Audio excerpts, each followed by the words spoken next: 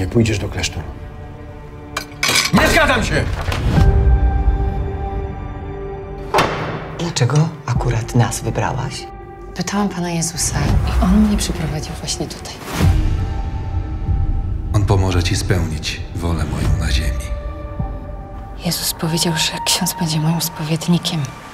Że kto powiedział? Jezus.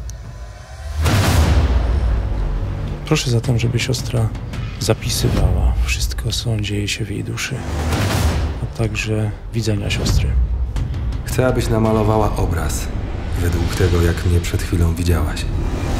To niebywałe. I że też właśnie ją wybrał. Co Pan z nim zrobił?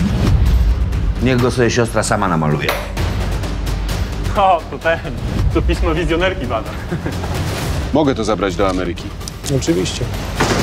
Musi ksiądz uciekać. NKWD wydało nakaz. Proszę otworzyć. Nieczynne. Ale proszę pana, to jest bardzo pilna sprawa.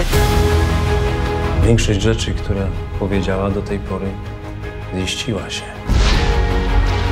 Gdyby objawienia nie były prawdziwe, kult dawno byłby, a rozprzestrzenia się.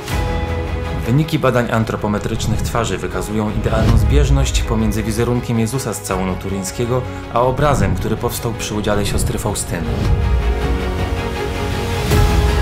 Powtarzam dzisiaj te proste i szczere słowa siostry Faustyny.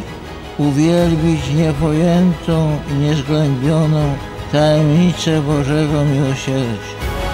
Nie dam rady bez siostry. Będę ojca wspierać do końca.